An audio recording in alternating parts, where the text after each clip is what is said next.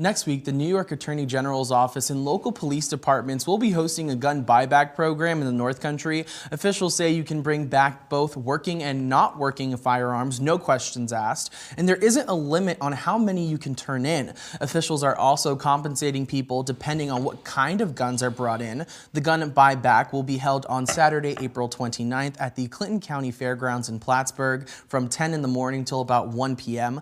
The event is part of a statewide initiative being run by by the AG's office.